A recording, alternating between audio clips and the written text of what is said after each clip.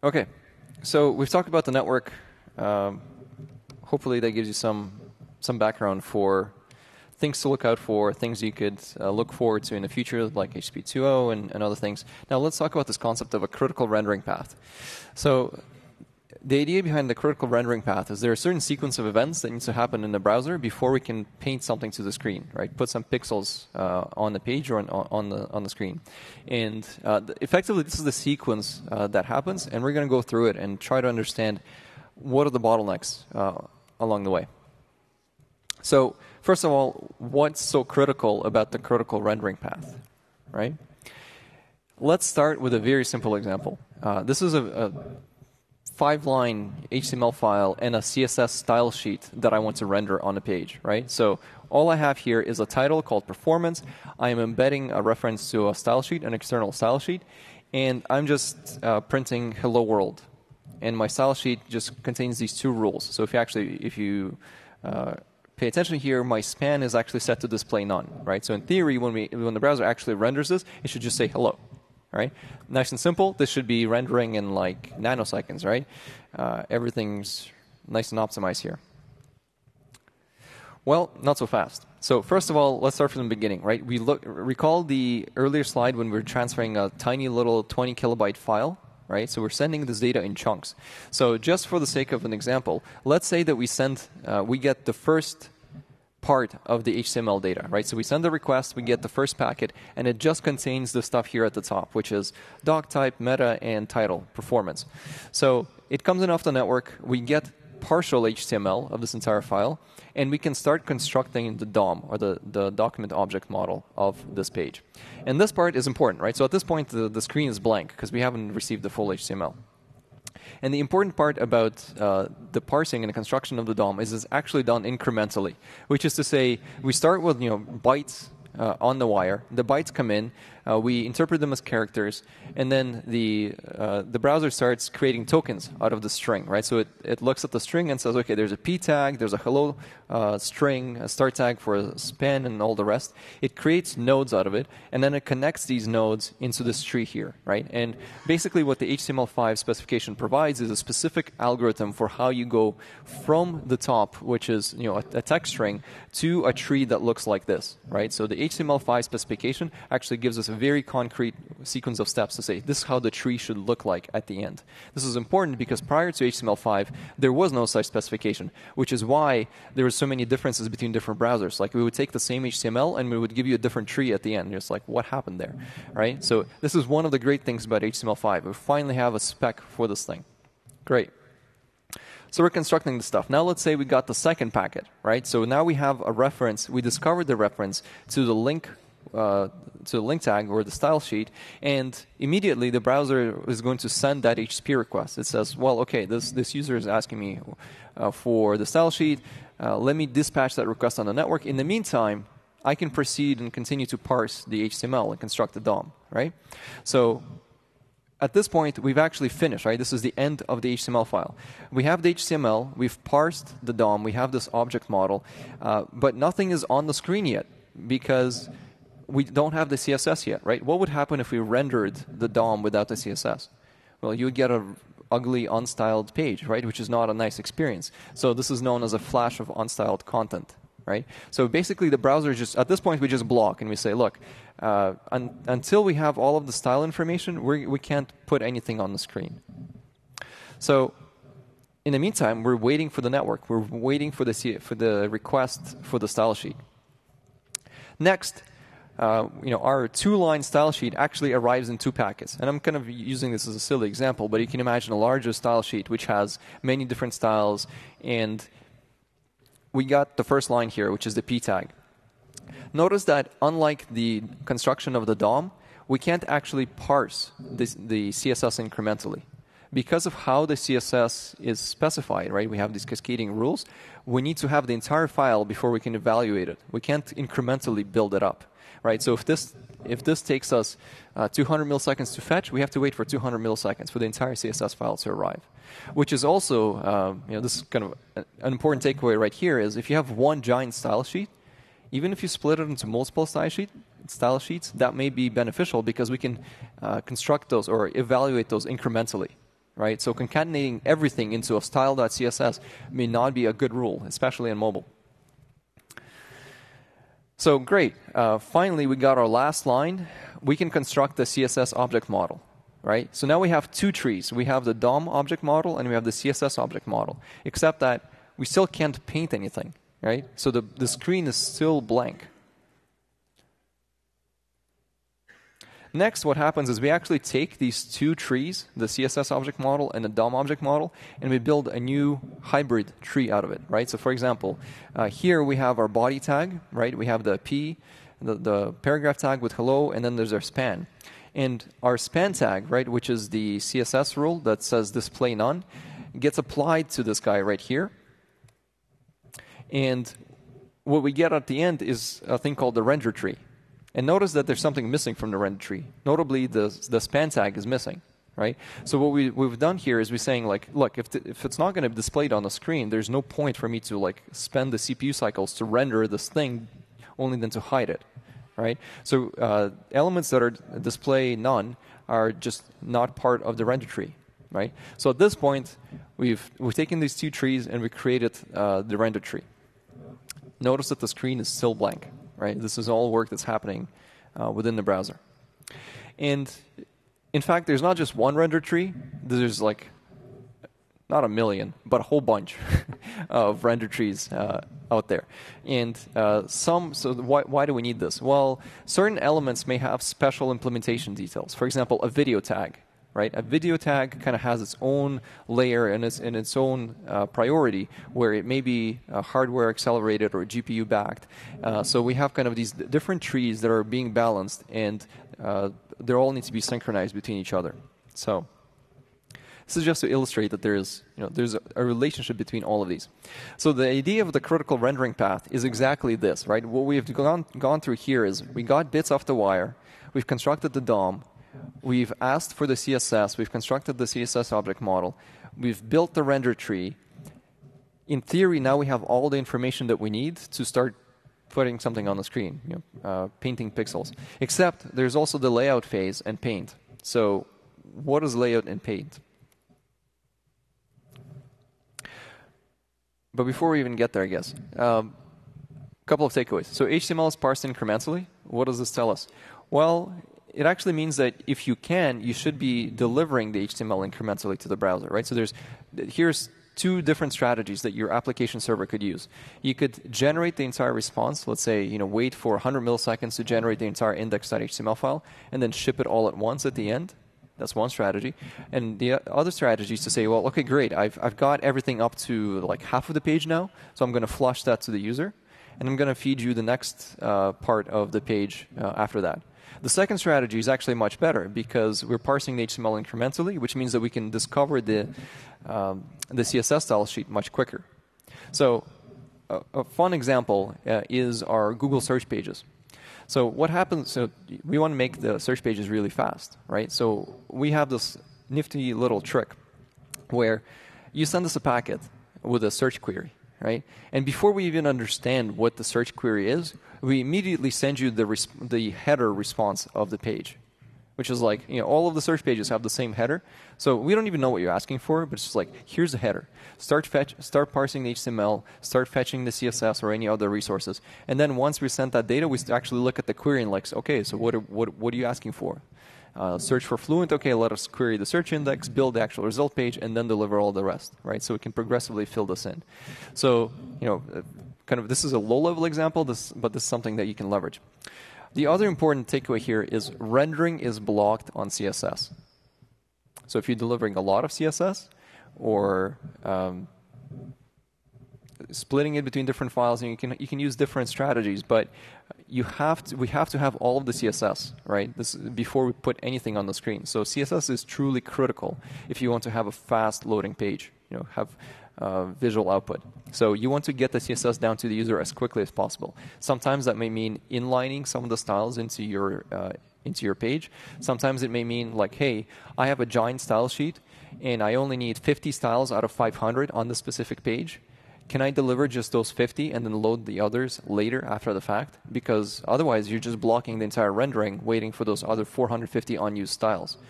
And we'll see an example of that in a second. But you know, this is kind of a cute example, uh, five-line HTML file. But didn't we just forget something, uh, which is critical to most of the web apps? Uh, there's this guy called JavaScript, uh, our friend and foe. So our friend because JavaScript is truly what enables the web to be what it is today, right? It's dynamic, it responds to your input, it does everything that we need.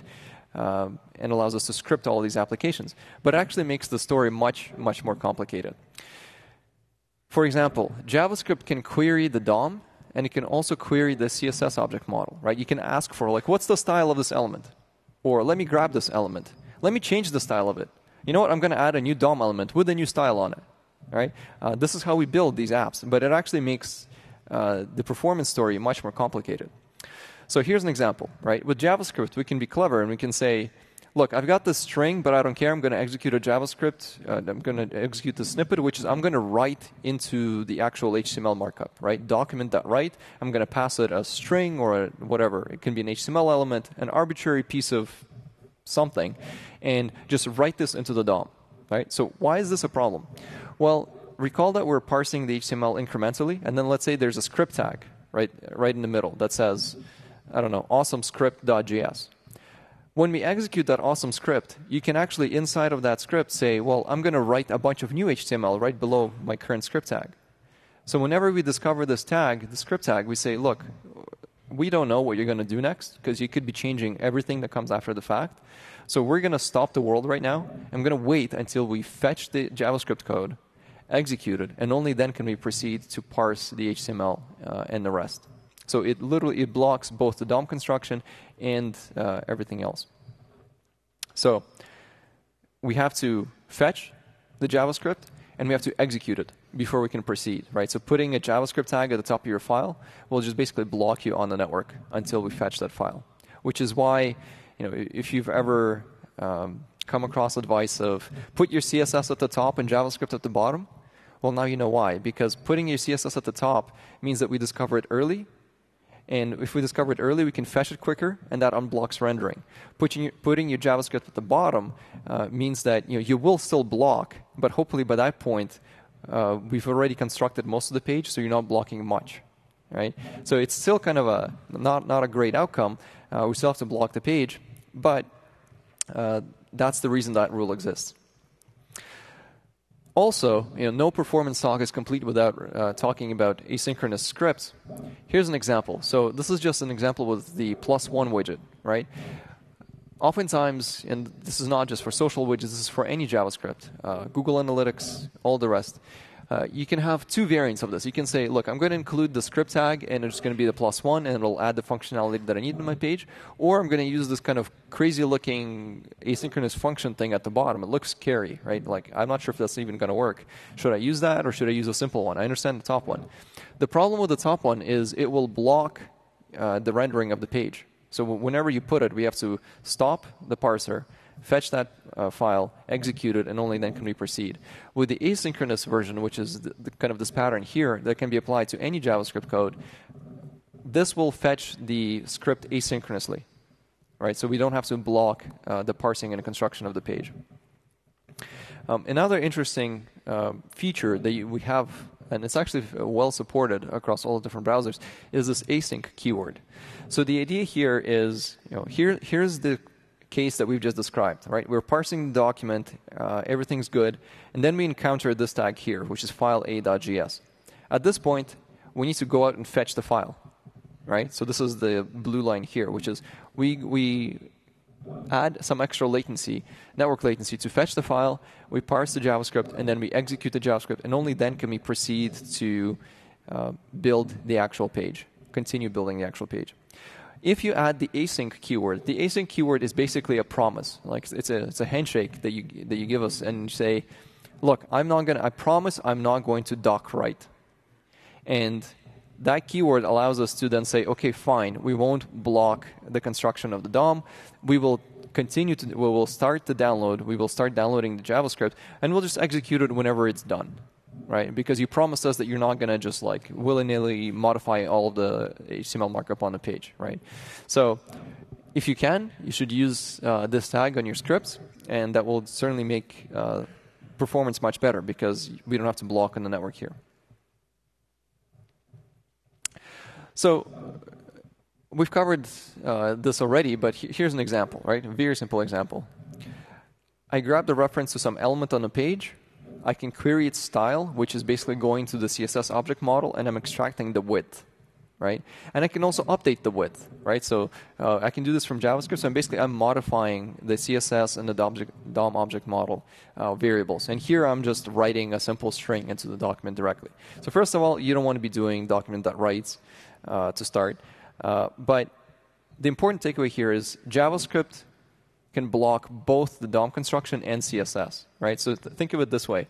Uh, recall that we couldn't paint anything until we had the CSS.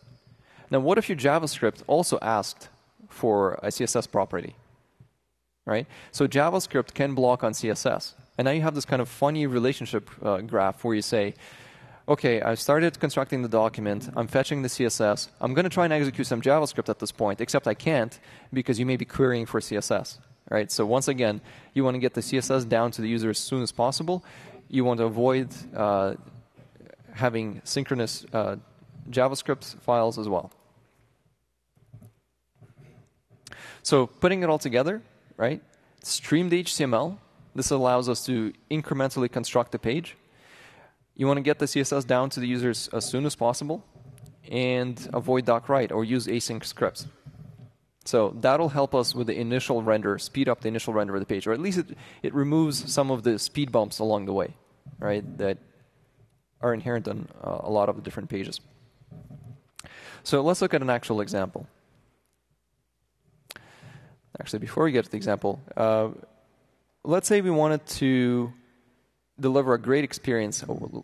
We want to break the mobile, break the one second mobile barrier, right? We want to deliver pages uh, within one second.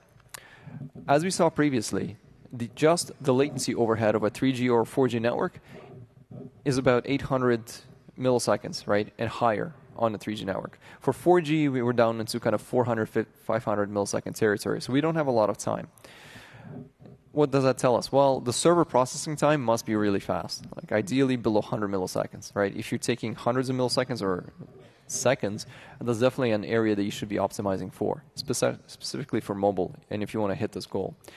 Then we fetched all the resources. You know, your server response time is fast.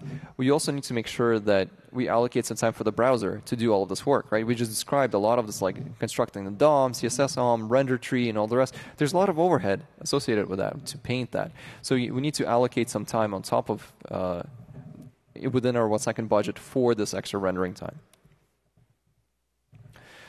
So, you know, some very simple implications out of this, specifically for mobile. Like, if you want to break the one second barrier, we have to inline requests. We have to inline resources, right? And, you know, just earlier I was talking about HTTP2 and how this is an anti-pattern. Yeah. And, you know, I think there's some, a, a lot of interesting room for uh, kind of head scratching for how do we solve this problem, right? Maybe we can use server push to deliver instead of inlining. Uh, but basically, what this tells us is if you want to deliver the page within one second, we can't afford to make extra HTTP requests because just the latency overhead of that first request is basically a second. So we need to deliver as much data, as much useful data as we can within that first second, and that's how we unblock the rendering. So if we want to have fast mobile sites, that's what we need to do.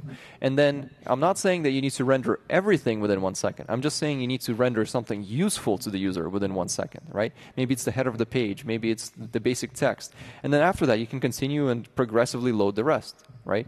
Defer all the other JavaScript. You know, you, you don't need your social widgets and other things to fire immediately within the first uh, 100 milliseconds. Your analytics beacons and other things, all those things can fire afterwards. So here's an example, a slightly more uh, complicated but nonetheless very simple one, right? We have simple HTML file with a style sheet reference and a script reference. And I can tell you right now that this page on a 3G phone, as simple as this page is, on a, on a 3G network, this will not likely render in uh, one second, within one second, right?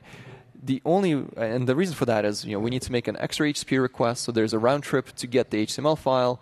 Hopefully, we're streaming this HTML back but then we need to make the style sheet request and we need to fetch the JavaScript code and the JavaScript code will block uh, the construction of the DOM later, right? So all of these things are working against us. How do we work around it? Well, we have to start inlining things, right? You say, okay, I'm going to inline my critical CSS styles. And what's critical CSS styles? Well, maybe once again, it's like the header of your page or something meaningful, like even the loading bar, right? Um, that's going to come directly in the page. And yes, there's a cost trade-off here, right? what I'm saying is uh, you're inflating the size of the page by inlining this potentially across all of your different pages, but maybe that's not a problem for your site, right? Uh, you want to isolate the critical CSS and have that as part of the initial page. S- same thing happens for scripts. Ideally, actually, you don't even have scripts at the top, right? Uh, uh it's true that a lot of applications require JavaScript today, or pages, I should say, require JavaScript. But it is also true that a lot of the JavaScript is enhancing the experience, right? So you're loading jQuery to add on-click handlers, you're adding social widgets, you're adding interactivity. But that doesn't block us from first getting the content rendered, right? And then loading and adding those things uh, incrementally afterwards. So most of the time, you can safely, at least in my experience, you can safely defer most of your code until the first render happens, and then add that functionality. This may not be true for your single page app experience because your single page app is the one rendering the entire uh, application. And in that case, you know, I, I, anticipate this question, like, how do we make this work for one page app? The question, the answer is like, tough luck, uh, right? Because chances are you're going to be fetching a JavaScript file with a lot of templates and CSS and other things. And in short, you probably won't be able to hit this goal. Um, although you know there's there's maybe there's some tricks that you can use with similar techniques like inlining and all the rest. And then just you know at the bottom here, I'm showing you that you know we can just create a simple function to say load this after the first paint, right? So get it out of the critical path. You don't need all of the uh, JavaScript immediately. So how do you even identify something like critical? Like what the heck is critical CSS? Uh, one nice tool that you can use is if you open up your Chrome DevTools, you can actually go into the audits panel, and within audits, you can actually run a performance audit, and it'll look at you know a number of different things on your page. But one of the rules it looks at is actually the uh, CSS that is being used on the page. So here you can see that when I ran this example, uh, there was about 55 kilobytes of CSS on this page. Oh, sorry. Yes, 55 kilobytes of the CSS on this page, but 60% of it was not being used. Right, so this is shared styles across many different pages, and perhaps we can somehow split uh, the critical and non-critical CSS. Right, so some of these files probably didn't need to be loaded uh, initially. Right, they could be loaded after the fact, and that would uh, accelerate the uh, rendering performance. Um, another example, and I'm not sure if Wi-Fi is acting any better now. If not, we have some screenshots. Yay. Okay. So another interesting tool that we have is uh, our PageSpeed Insights tool. Uh, of course, you can look at your waterfall uh, within uh, your Chrome DevTools or Firefox tools and all the rest. This is just kind of the same same view, but on the web, right? And yes, it's it's tiny, but we're looking at uh, Guardian Co UK, and this is the like this is all of the files that we need to load this page right? So it's it's big. Like there's over 100 different files. There's CSS, there's JavaScript, and all the rest. But not all of these files are required for us to first render the page, right? So this is why we have this uh, highlight critical path button. And look what happens when I click on it, right? That entire page the entire waterfall collapses down into basically this sequence here. And what the sequence tells us is yes, you have 80 plus files on your page, images and other things, but these are the files that are critical for us to actually get something visible, right? Like here's a sequence of JavaScript, CSS files, and other things uh, that we need. So this is a great way to kind of look at your own site or any site for that matter and figure out what is that sequence like what's currently blocking my performance. So let me go back and actually show you some examples here. So when I grabbed this uh, snapshot earlier, uh, first of all, uh, when I went to Guardian, it issued uh, a redirect, right? Which on mobile, of course, is extremely expensive, right? We just said that just one HTTP request is going to take us about a second. Now, if you redirect me from you know www.guardian.co.uk to m.guardian.co.uk, that's a new host name, which means a new DNS lookup. It means a new TCP connection. It means basically they're starting all over, right? Right from the beginning. And uh, in this case, it's 300 milliseconds, and that's you know, on a very fast network. So redirects on mobile, Ideally, the number is zero, right? Uh, you should avoid them uh, whenever you can. And then after that, uh, we can start looking at you know how is this page being constructed. So you can see that uh, Guardian is actually doing a good job. Like they're shipping. So the green bars here uh, are the CSS files. So they are in fact putting the CSS at the top, uh, which is good, exactly what you want. But then later they start loading JavaScript files, right? And so here they're looking, or they're loading the jQuery.min uh, plus some other plugins. So far, so good. Except then uh, they encounter the uh, they have, I guess, their own show ads script, and the show ads script issues a document.write to write the Google ad code, right? And if you recall our earlier discussion, that's definitely an anti pattern, right? Because this will block all of the rendering. And not only that, but because this code gets written as part of the script, we can't discover it early, right? So the document parser is smart in the sense that it can actually look ahead a little bit and say like, hey, are you going to be asking for this image file? Right? I'll look ahead and just start that request. With document.write, we can't do that. Right? We have to wait until you write it into the document, and only then can we dispatch the request. So there's uh, this is why there's this really high amount of latency here. And then later, uh, there's just actually some really long running JavaScript on this page. I didn't really dig into as to why, but a good opportunity to profile your JavaScript right here. No, we'll skip that. So what that showed you there is the idea of a critical path, right? And certain things that you can do to optimize uh, the rendering part of it. CSS, DOM, and JavaScript. Once we've loaded the page, right? So we've gotten to the first paint, finally, like ho- hopefully within one second. Once that's happened, we enter a new, basically, phase in the lifecycle of the page, which is the in-app performance, right? Now we need to sit and just render the pixels and uh, react to user input. And hopefully, we're doing this at 60 frames per second. So, same pipeline, except now we're running in a loop, right? Your JavaScript is likely what's triggering events, or maybe it's the user triggering events, right? A scroll event, or clicking a button, or clicking in a form, or doing one of these things.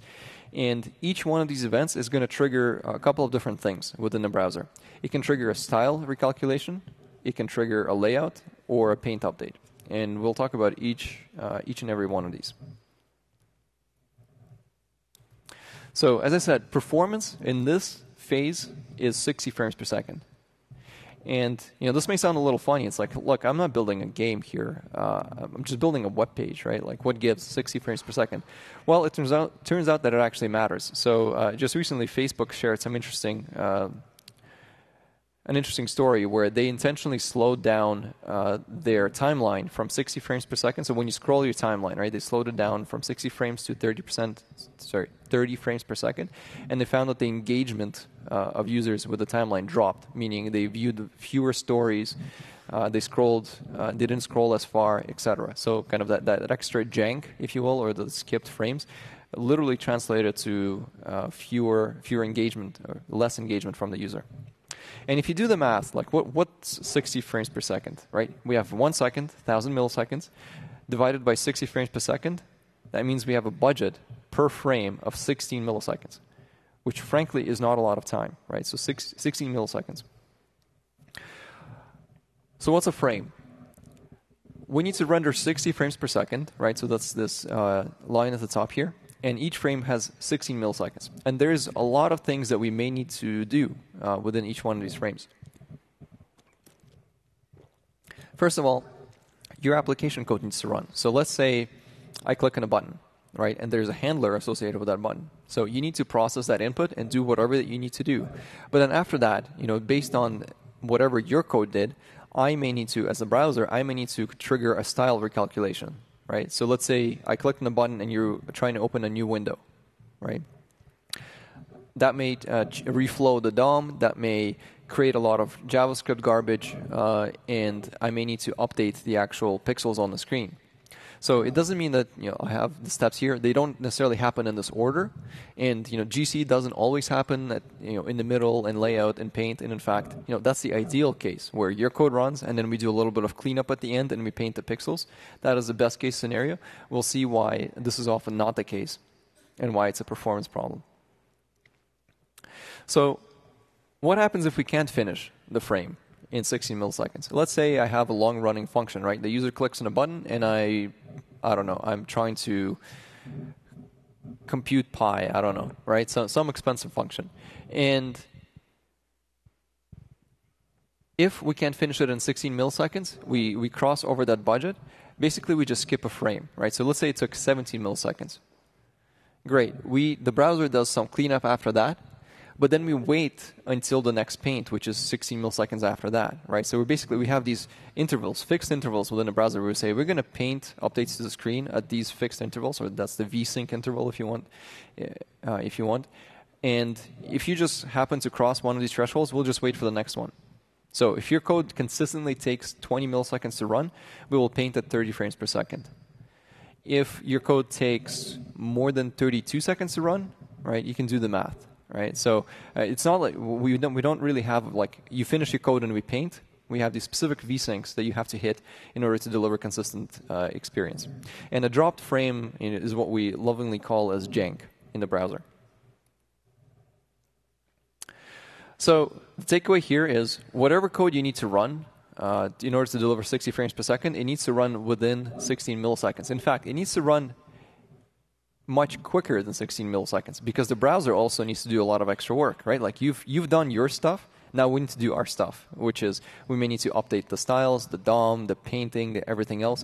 And this cost is of course variable, right? Like 16 milliseconds sounds like an absolute term. It's not because 16 milliseconds of CPU time on a mobile device is completely different than 16 milliseconds of CPU time on a beefy desktop, right? So uh, as a rule of thumb, you probably want to aim like you're developing it on your uh, laptop. You probably want to aim to complete all of your work within 10 milliseconds, right? That gives us kind of enough of a buffer, and hopefully even less, much less, right? But 10 milliseconds is kind of like that barrier where uh, if you're not hitting that, then you're definitely dropping frames on mobile. And the important thing here is if your code takes, let's say, 100 milliseconds to run, we can't interrupt it. We can't interrupt it and say, like, okay, let's, let's paint an intermediate frame, whatever that means. Uh, if you run for 100 milliseconds, 200 milliseconds, it just blocks, right? So if you ever had the experience of, for example, you come to a site and you start scrolling and it's kind of like, it's, it, it's janky for like, I'm not sure if that's the right word here, but like it just skips, right? That's what happens. Uh, you're probably firing some JavaScript code which runs in the background. We can't update the screen, we can't scroll the screen because the JavaScript code is taking so much time. So we're dropping frames, and that's why you get that slow experience, right? So also frequently, you know, before I was aware of this, I would come to a site which was with a lot of JavaScript handlers, usually like an on-scroll handler, right? Because they would attach it to say like, I'm going to drag this element as you scroll down the page, and it would be very expensive. And then you're scrolling, and it's like it's it's very slow, and you're like, oh my god, my computer's slow, and I need to close Photoshop, and I need a new I need a new laptop, right? Um, and then you profile your code, and you're like, actually, no, no, that's that's not the problem. Uh, the laptop won't help. It's just the site is really slow or the JavaScript is taking so much time. So here's an example. Uh, this was actually uh, a screenshot that I took uh, a few months back on a very popular uh, web destination, right? So lots and lots of users. And what you can see here is this is directly from Chrome. Uh, if you go into timeline and you start recording, we will actually show you how much. So each one of these bars is effectively a frame, right? And how much time the frame took to render. The yellow bars show you the JavaScript execution. So we can see here is an event, a scroll event has fired, and there's a long running JavaScript function after that. In fact, in this case, this function took 46 milliseconds. So because it took 46 milliseconds, we dropped three frames uh, right there, right? So we're not delivering 60 frames per second in this case for sure. And even worse, uh, this function or this implementation, I'm scrolling the page, it's firing the event scroll on every single every single time, and this JavaScript function runs every single time event fires. So in fact, within this frame, we we did the same work twice, which is useless if you think about it, right? What you want to do is you want to register the fact that an event has happened within that one frame, handle it once, and then defer any work until after right? So it's a very common problem for a lot of uh, sites on the web today and something that we need to fix. So a simple way to fix it is, if you guys are not familiar, you can uh, use the request animation frame callback, which basically says, call me every time a new frame starts, right? And the browser just calls your function. So what you want to do is you want to register the scroll events, put them in a queue, and then when the request or the RAF uh, callback fires, you say, okay, I have some outstanding things that I need to handle. Let me handle them, and then I'll defer all the work until the next frame. Uh, similarly, you know, if you do have a long-running function, maybe you can split it, right? Maybe you can actually say, well, I'm going to do this part of the work now, but then I'm going to yield control such that I can update the, brow- the browser can update the screen, and then I can continue running it, right? So it definitely requires a bit more work on your part, but it's definitely worth uh, looking at because uh, rendering performance definitely matters. And you know, at this point, of course, it helps to talk about profiling your JavaScript code. Uh, Chrome provides a couple of good tools for this. In fact, we actually provide not one, but two different uh, profilers. We have a structural and a sampling profiler. And what the heck does it even mean? Um, uh, John and myself actually did a, a full one-hour episode on the difference between structural and sampling profilers and why would you would need either one. I'll give you a very brief version, but if if you want, you know, if you think JavaScript performance is your bottleneck, I definitely encourage you to check out the full video. So the difference is you know, if you open your DevTools and you go into your profiler, right, and you uh, run the JavaScript CPU profiler, basically the way it works is uh, your code runs. We pause every, let's say, 100 milliseconds, and we just look at what functions are executing, right? And then record that. We can we let your code run, and then we pause, examine the stack, and, and basically it's a sampling profiler, which may or may not be the right tool to find the problem in your code, right? Sometimes it may capture the exact problem, like if you have a really expensive function and you're always blocked in it, great. The sampling profiler will identify it very quickly, and that's probably the tool that you want to start with. Uh, but the structural profiling actually allows you to uh, go deeper. Like in, instead of saying like we're going to sample, we're actually saying like here here are the points that we, we want to checkpoint, right? And you want to measure the time taken between between these two points and how many times we've executed it. So for to use that, you need to use the uh, Chrome tracing uh, functionality.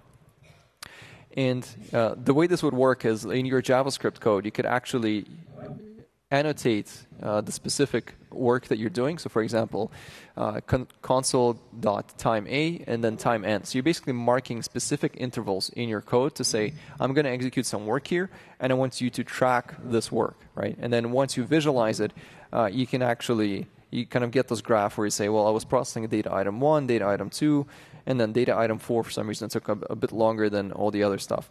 And because this is using Chrome tracing, and this is a pretty low level look at what's happening in a browser, you also get an um, insight into things like uh, what was the V8 function that was being executed, or when did the GC happen, or what was the rendering thread doing uh, at this time as well. So, uh, you know, there's a lot of information hidden in there, and uh, it can be a little bit uh, daunting to start with the first time you open Chrome tracing. So, uh, if you're not familiar with it, I recommend that you check out the video because we talk about some specific tips for how to navigate Chrome tracing. It's it's not exactly the most uh, user-friendly UI. I'll, I'll give you that, but we're working on it. Of course, garbage also happens, right? So we're running JavaScript code, we're creating DOM nodes, we're creating other things, we're allocating objects. Sometimes uh, we basically need to pause and just collect that garbage.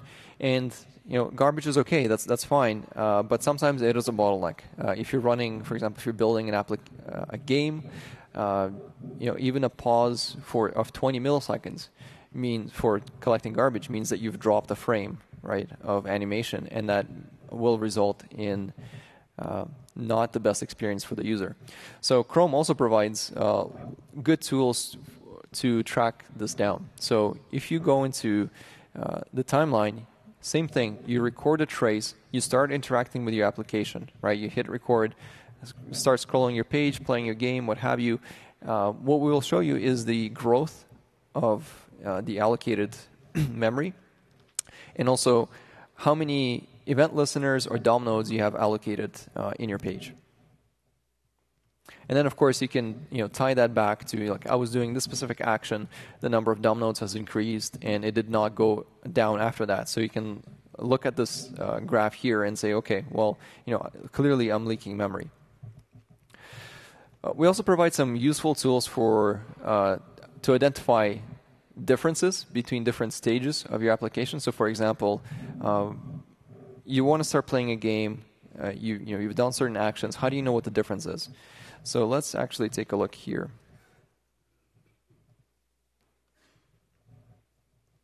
So this is just an example in our uh, documentation code, and uh, what it's doing is it's a very simple example, uh, kind of cute example of it's just going to create a whole bunch of objects, right? So let me open DevTools. I'm going to go into timeline or profiles rather.